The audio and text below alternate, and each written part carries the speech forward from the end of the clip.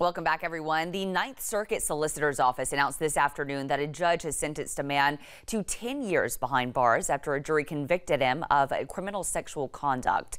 A judge handed down Rick L. James the maximum sentence of 10 years for his third degree criminal sexual conduct conviction. According to the Solicitor's Office, the victim testified in court that she was served alcohol by James who was sexually assaulted by him in his apartment four years ago. The victim said that at the time she was too intoxicated to even move. She was 17 while James was 55. This case was investigated by the North Charleston Police Department after the victim came forward to report the alleged assault.